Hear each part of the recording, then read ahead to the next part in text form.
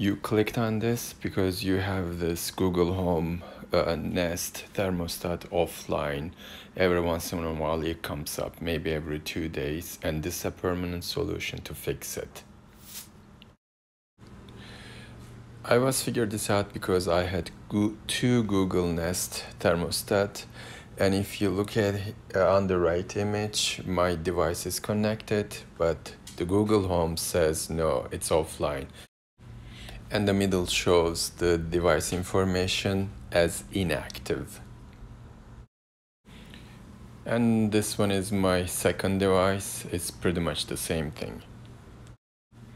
First device's last contact time is 11.58.03 and the second device's last contact is 11.58.44. That is the reason I looked for the solution in my router as it otherwise called modem. Let's take a look at some notes from Google. As it is mentioned in this note, uh, you can definitely play with the firewall, but unfortunately that's not the issue. Restarting Google Nest device is gonna fix temporarily, but every two days it will go back to offline. The first step of the solution is changing the 802.11 mode to BGN. Log into your router and go to 802.11 radio section. In wireless tab, change the 802.11 mode to BGN. Change the channel number to something else that acceptable rather than severe. You don't have to change the 5 GHz settings, just keep it as it is. Second step is to change the DHCP settings.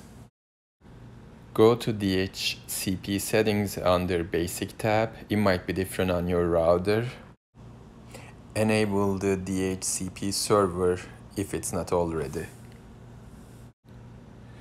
The lease time is the crucial point. You have to change it from 3600 seconds to 7200 seconds. That's it. There is nothing else to do. Just skip the last one. Do not set up Google Nest device to static, uh, which I did but failed. Nest device IP should be dynamic and controlled by router. Don't make it static again. Also, it's okay to select and delete to resolve your issues if you have. Here's after I fix it. On the left, you can definitely see that uh, the automatically connected from offline. I didn't do anything. And in the middle, you can see that it's running in healing mode. On the right side, you can see that it's active. Let me know if you have any questions. And please subscribe so you can always have an access to this tutorial.